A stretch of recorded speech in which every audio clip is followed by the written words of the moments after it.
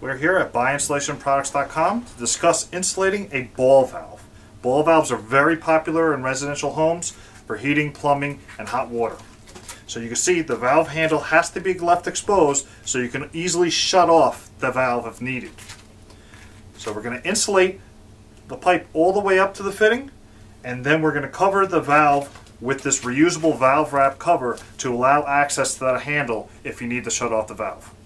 As you can see, we insulated the entire line, leaving the ball valve free. We need to allow that valve to be closed in case of emergencies or regular maintenance on the line. So this valve has to be able to be closed.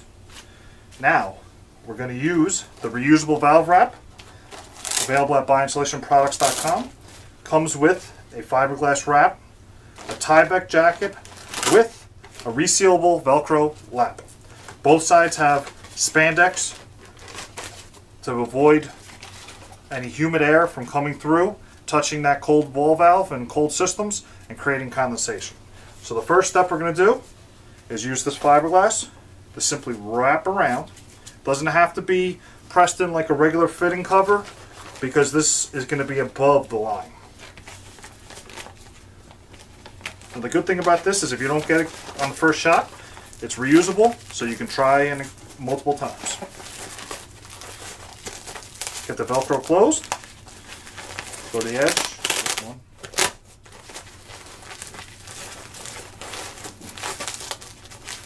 Make sure everything is closed. Prevent that humid air from coming through here. So as you can see, the entire valve is covered.